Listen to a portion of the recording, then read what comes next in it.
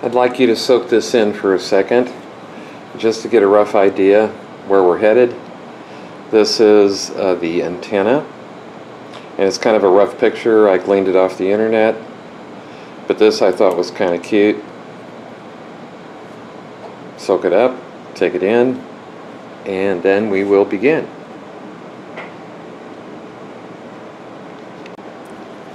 Now I went to Office Depot, Office Max, and I had them take the 8x11 and make it as large as they possibly could, which was 11 by 17.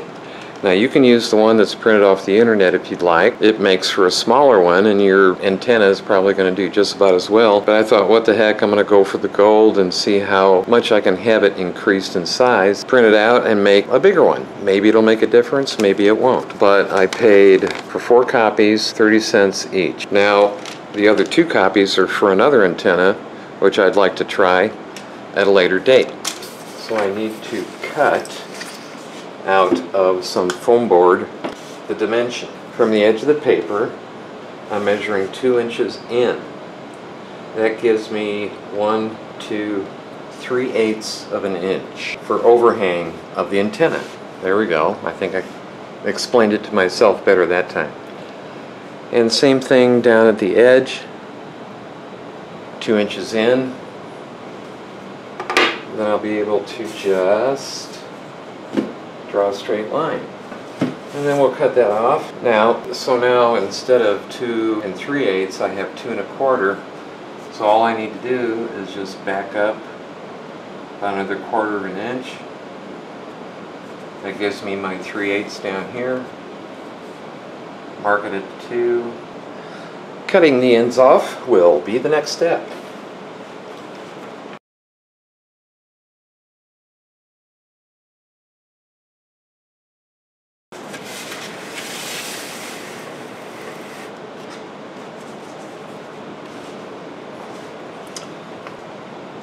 So to try to get it as right as I can.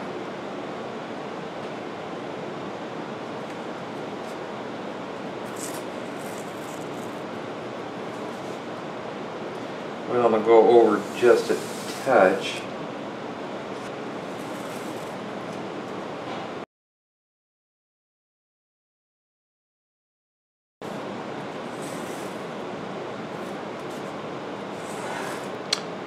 It's cutting time. There is no perfect, only done. And cut.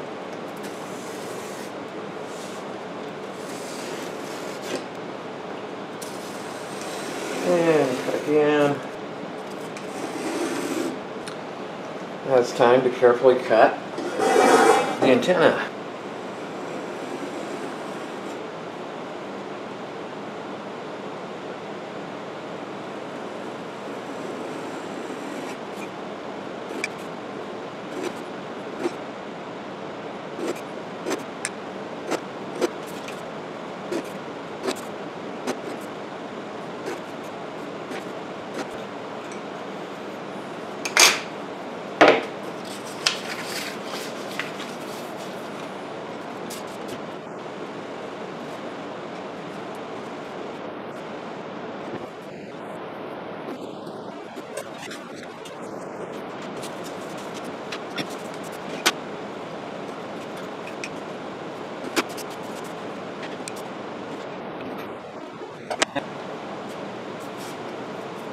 Now for the foil. Now I'm using heavy duty aluminum foil. It doesn't matter, it's just that this is a little more forgiving I guess. A little heavy dutier. So if all you've got is the regular then fine. Oof, that was close. Right over.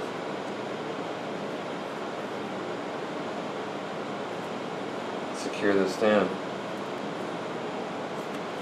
Just a little bit Nothing crazy. Now I'm going to trace. If the ink wipes off, I've still got the pressure from the pen.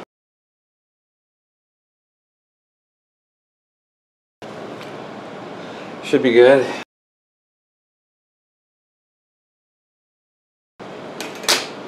Alright, what am I missing?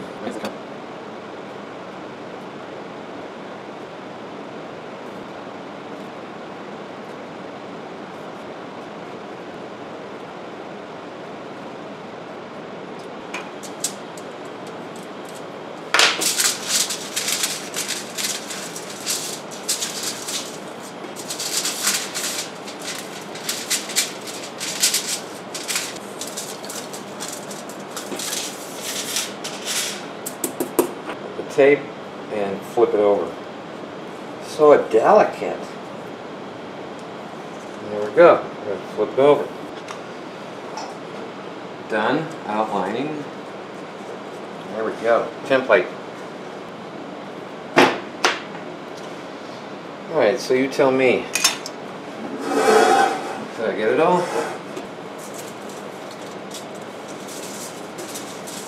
Uh-huh. That is what it's going to look like. Like the book, closing and opening, closing and opening. Now, I don't know, or do I think, that there's any right or wrong way, but then again, I take that back. Reason being is if our connectors are going to be here, then spread out to receive signal is better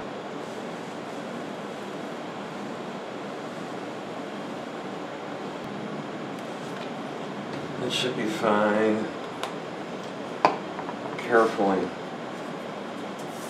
place this on top.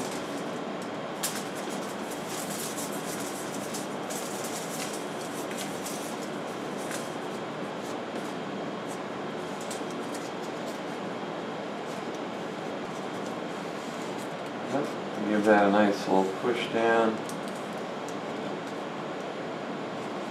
Be fine.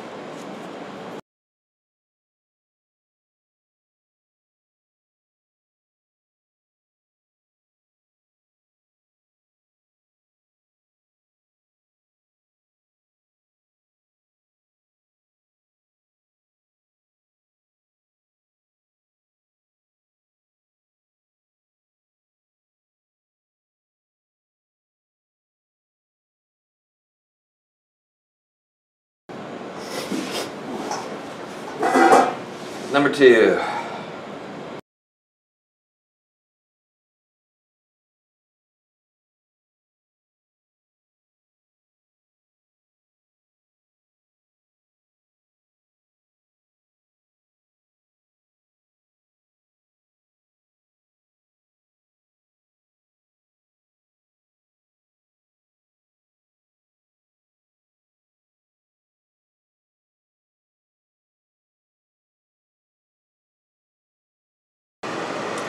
Now on my supports, I want to match the two pieces up, so I cut the excess off. now you want to make a right angle, so I found a box, kind of set it up like that, so looks about right. So let me throw a piece of tape over that and just kind of mock set it up.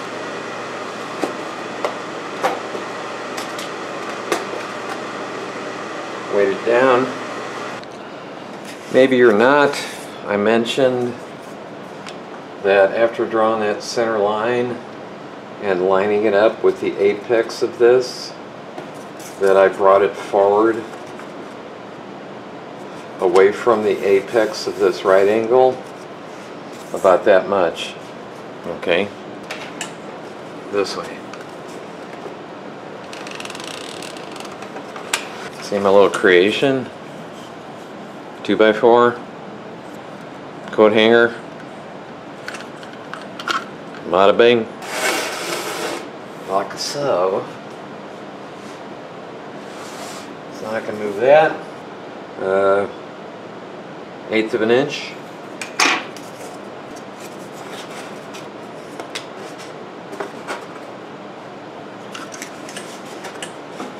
Hold it down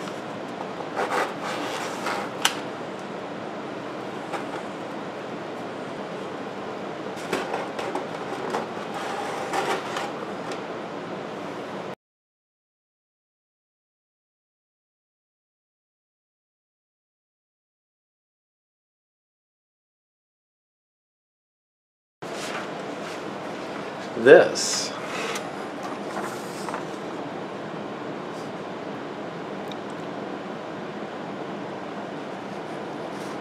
That's what it looks like. This will be making the connection sheet metal screw, lockdown washer, and the nuts. I'm going to be making some holes with a bit of a puncher. Make my hole.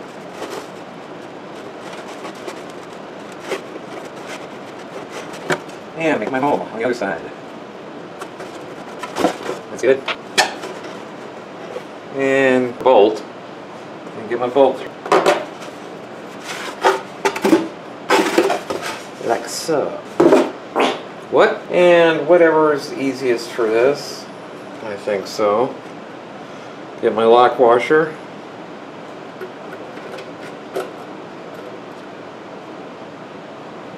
Yeah.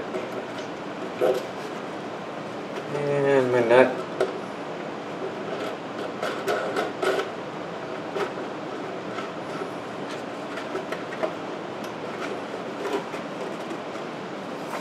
Lock washer.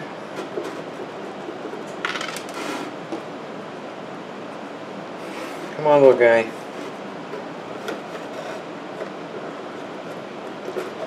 And my nut. My other nut. Two nuts. Two lock washers. Two sheet metal bolts.